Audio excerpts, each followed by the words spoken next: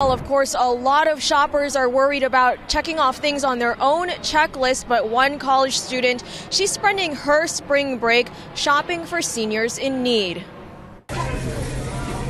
It's a scramble at the supermarkets as coronavirus fears fuel long lines and empty shelves across the valley. The problem we're facing now is when you go to the store, those items aren't even on the shelves to be able to buy. So I want to move these over here, Jade. Jade Powell isn't picking all of this up for herself. Bottled water, milks, uh, canned goods, soups. The pre med student at UNR is launching a program called Shopping Angels. It's been, you know, something that I've been really uh, focused on and brainstorming pretty intensely for the last two days. No delivery fees, no extra costs. Powell just wants to help those who can't leave their homes. When you coordinate with us, we'll give you the name of the volunteer who's offering to pick up your stuff and you'll put them on your pickup order so that we can go out and get those groceries to you. Go into one store could take could be an all day affair for an elderly person. You know, they, they don't have a lot of money to spend on gas and, you know, a lot of energy to drive around to all different stores only to find out that they can't even get the basic supplies that they need to last them for a couple weeks.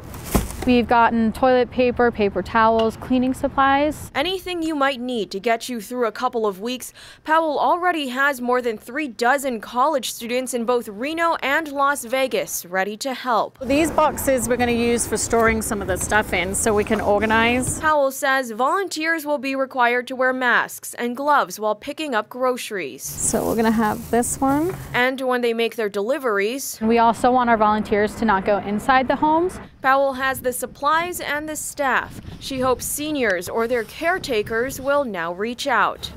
So I think having something like this in place, ready to go, would definitely be able to benefit for future outbreaks.